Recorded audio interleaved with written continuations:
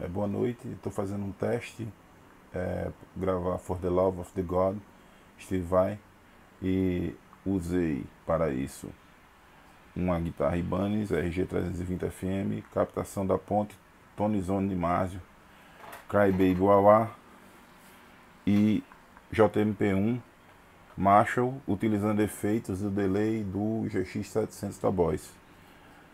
Vou mostrar agora essa galera aqui então, gravei com a guitarra Ibanez é, RG320 FM, certo? Captação de Mason, Tony Zone na ponte. No braço tem um Air Norton, mas eu não usei. Plugado num Crybaby UAA, certo? UAA simples, é, que vai direto para o macho JMP1, certo? Utilizando o Overdrive 2 do Marshall, certo? Entrando no GX700 da Boss, certo? Que é esse rack aqui, utilizando um delay.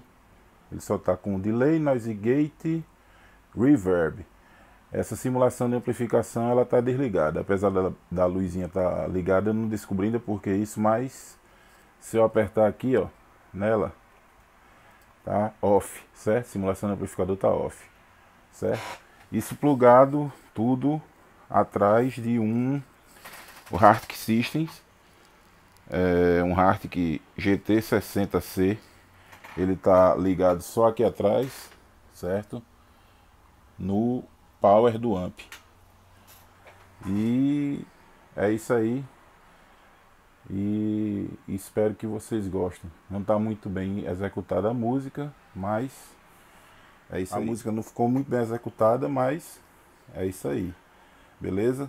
Tô testando ainda, tô começando a fazer gravação utilizando um método diferente, porque antes não estavam ficando muito boas as gravações, eu estava captando com o microfone do próprio celular e não estava ficando legal. E agora eu estou captando com o microfone do fone de ouvido dele e a qualidade eu já olhei ficou bem melhor. Beleza? Valeu!